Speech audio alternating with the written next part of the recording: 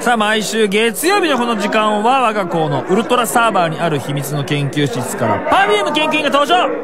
ね冒頭でもちょっとこう説明させてもらったけどもね。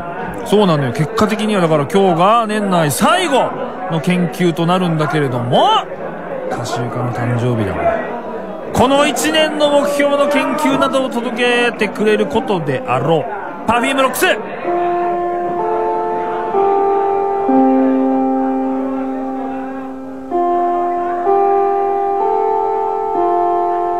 Perfume Locks, starring Perfume.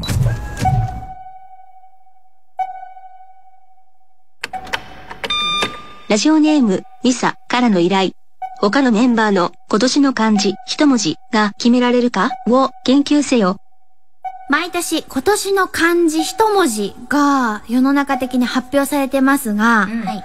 自分で自分の今年の漢字一文字を決めていくんじゃなくて、他の二人に決めてもらうと。なるほど。これちょっと新しいですね。そうだね。新しい。非常に面白いです。はい。じゃあやってみます？はい。行きましょう。じゃあ、私の今年の漢字って何だと思う？自分スイッチ入れたね。スイッチ入れた。それあーちゃんって書いてある。じゃあ、私の今年の漢字って一文字何だと思う？自分でフルスタイル。あーちゃん。はい。えー。やっぱもう、あーちゃんイコールポポタンってなってるから、あ私の中ではもう、漢字がもうその、一つしかないんだよね。えことは？犬。ダダン！犬。やだよ。やだよ。深みが欲しいよ。やだよ。現場にもうすごいたくさん連れてきてくれたから、うん。ずっと癒されていて結構だってお出かけも一緒に行ったりするじゃん、うんうん。だからもう本当にあーちゃんは犬でできてるなっていうことで犬あー、やられちゃってます。うん。大元？私が思うのは、まず漢字は恋だと思う。ほえなんかあのードラ恋しかり、うん。バチェラーしかありそのリアル恋愛、なんていうのドキュメンタリーみたいなのをめちゃくちゃ見てるじゃないあーちゃんすっごい量見てるね。で私たちに紹介もしてくれるしそれがきっかけでドラコイのあのスタジオに行ったりとか。したし。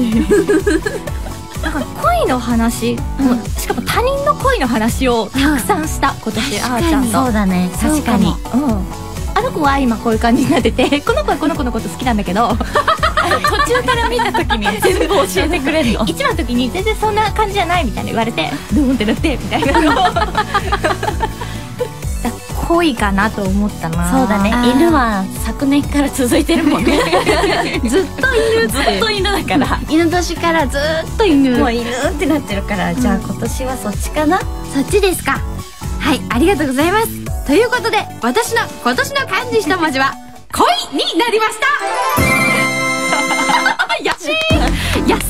あありがとうございます。ありがとうございます。ありがとうございます。じゃあ次は、歌集家の今年の漢字一文字を決めましょう。ちょっと一旦キャラ入るんだよね これえー、何ですかね、の私の漢字何ですか、うんなんかね、今年の歌集家は一味違った気がする、なんかこう教えてください。可愛さとか、い。面白さっていうのがはい。一段とこう出てた、あでこの間のあのオンエアあった「帰れマンデー」ね、ー、はい。あの収録行って帰ってきてからの歌集家も本当に楽しかったみたいで,、はい。ですごい楽しかったんだね。たくさん歩いたけど全然辛くなえ全然辛くなかった。ってどんな歌集家が見れるんだろうと思ったら、もう私の大好きな、もうただの歌集家が 画面に映ってて、うん。これこれこれよって思った記憶がある。だから漢字は漢字は。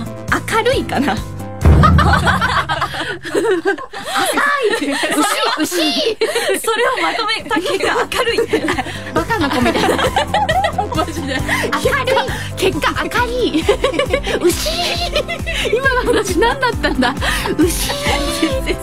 出てこなくて。漢字のチョイス。漢字が出てくる。出てこなすぎ。明るい。かな。そこにまとまるかな、い。や、もうちょっとい。い。こと言ってたよ、い。ろい。ろ。うん。私は、カレーの例だと思いました。おおああのー、麗しい。はい、うん。麗しいっていう字です。手そっちやん。明るいかに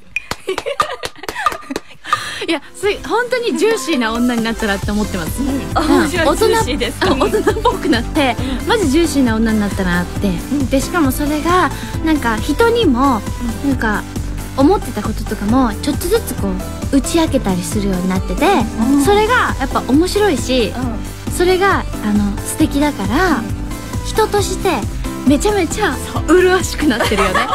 うん、そうそうそう。乗っかってる。いやいやいや、そうそうそうそうめちゃめちゃ乗っかってんのよ。うん。だから、この感じかなと思ったけど、でもエピソード的な話で明るいっていうの結構面白いけどね。うん。これ、どっちかなどっちかな？でもね。そうそうそう乗ってくれたので、あ私の今年の漢字一文字は、レイになりましたありがとうございますありがとうございますそうそうそうそう。そうそうそう。麗しいな。はい。続いてじゃあ、じゃあ最後は、のっちの今年の漢字一文字を決めましょう。帰りの会みたいになる。それでは帰りの会を始めますキスレイお願いしますお願いしますなんかあります？いやのっちは、いやねより女っぽくなったなっていうのをすごい感じているからわ私が選ぶなら女かな。マジで？すごいじゃん。喜んでるよ すごく喜んでる。顔が赤くなってるから。今までだってよだれ やだやめてよ。それはやめてほいしい普通に。ちょっとやめて。女って言ってんのからよだれやめて、今までなんかメイクさんとかにうん。メイクしてもらう時とか、なんかいろいろ仕事で着替えたりする時も、もう体中がカサカサだったりとか、唇カサカサだねとか、ネイルボロボロだねみたいな、めちゃめちゃいじってます。おいめっちゃおいみたいな。されてますけど。あげるために落としすぎなんだけど。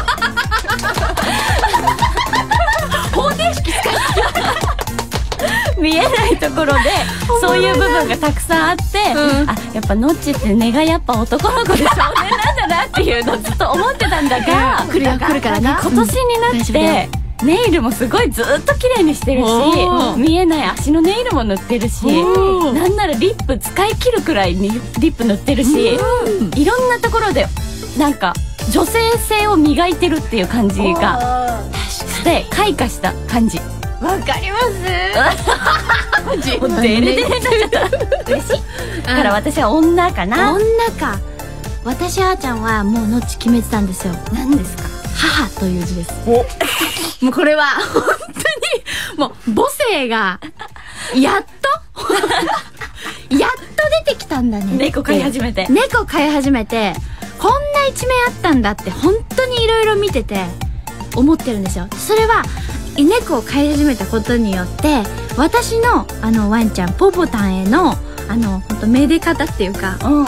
接し方もね。そう変わってきてだからポポもなんか安心して甘えてて。だから、母性の母母です最初母にどんどん似てきたって方向かと思ってびっくりした。母にもすごい似てきました。本もう当に。母じゃんそれってよくなってたから。なってたよね。ね。衣装着るたびにね。のっちマママジそっくりだよね、そういう服ってなんか、ノッチの遺伝すごいねみたいな。ね。だからのっちママが似合いそうなやつを当てれば大体似合うんです。そうそうそうのっちママこんなん着てたよねを当てたら似合った。みたいな。そっちかと思ってた。けど母性の方ですね。はいいやー迷うなはい両方嬉しいどなっちもいいね。うん。ということで私の今年の漢字一文字は母になりました。確かにお母さんに似てきた。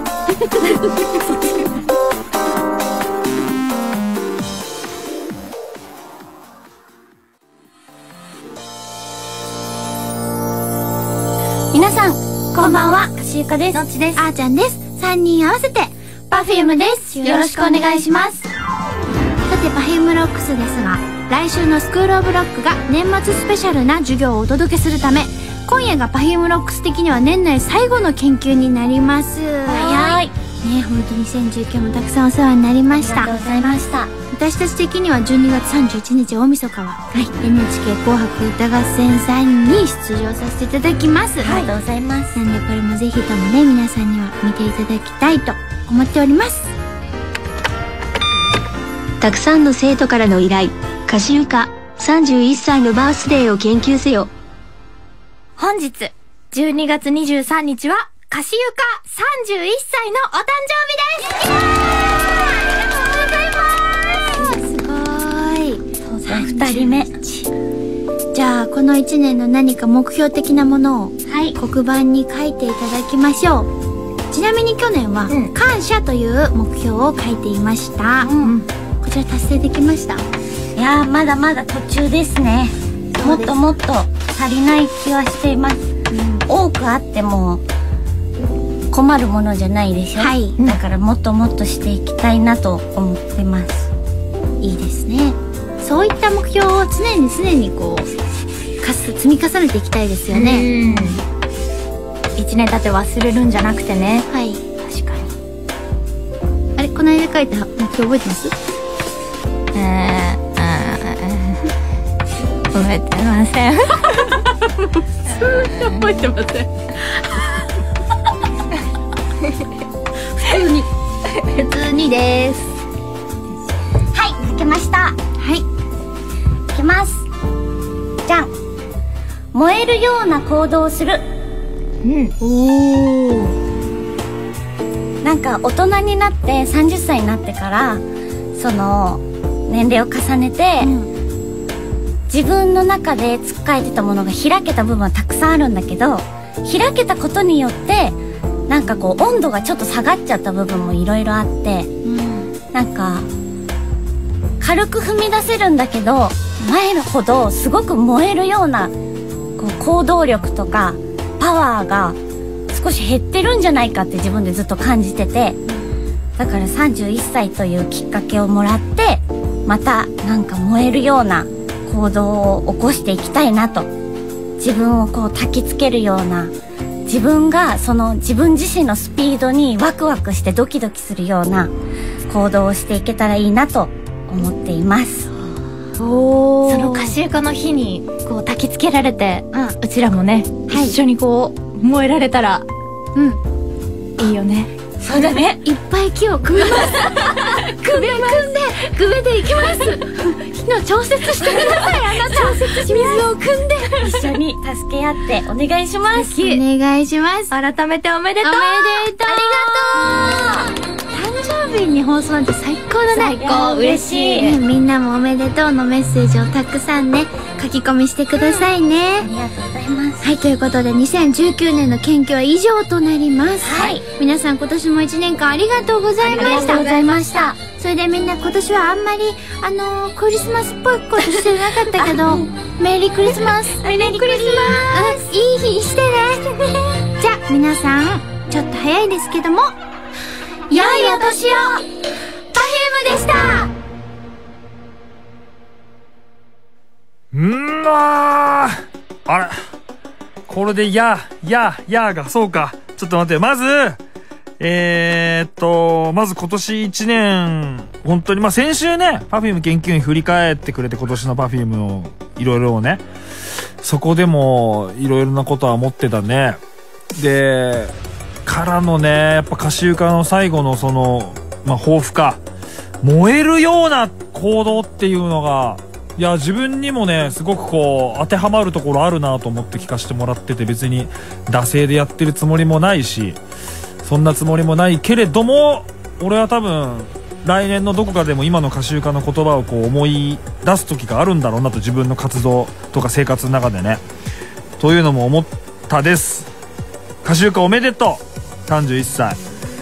そしてこの紅白歌合戦がね、あ1週間ちょい後にやってくるってことで、そこでその、フュージョンなんだもんね。これは震えるぞで、もう世の中の人は Perfume というものの存在ももちろん知っているであろうし、だけどもまだまだそのさ、ライブ見たことない人もたくさんいるわけで、どんなにすごいことが行われてるのかというのも、えーもしかしたら知らない方がいる中での大晦日の大一番でこのフュージョンの紅白バージョンが炸裂するっていうのはめちゃめちゃ楽しみだし誇らしい気持ちでいっぱいになる。なのでそこまでもまだたくさんいろいろパフォーマンスすることもあるでしょうけどここもあの本当に楽しみにしているのでえっ、と万全の状態で最高のものを全世界に向けて提示してほしい。そんなこと考えております。それからあのちょっと私事だけどもねこれ Perfume がねあのベストアルバム研究に出されたでしょ。それのねあのプレイリストをいろんな方がその作るってやつをこうやらしてやってんだけどもそこでなんと俺もやらせてもらっててだね。他にも今のとこだってマキシマム・ザ・ホルモンの直先生とか浜辺美波さんとかさやられてる中で俺もちょっと書かせていただいてたね。明らかに他の方のえー、80倍ぐらいのちょっと俺文字数になっちゃってるんだけどぜひあの Perfume 研究員の公式 Twitter アカウントであの、えー載させてもらってるんでよかったら読んでほしい。って感じかな？じゃあ1年間、えー、ありがとうございました。生徒のみんなに向けて。そしてお疲れ様でした。また来年も楽しいロックスを待っております。ノッチが目標を忘れてたのはどうかと思ってる。明日のこの時間はスクールオブロックの進路室の代をアレキサンドロス先生が登場。アレキサンドロックス。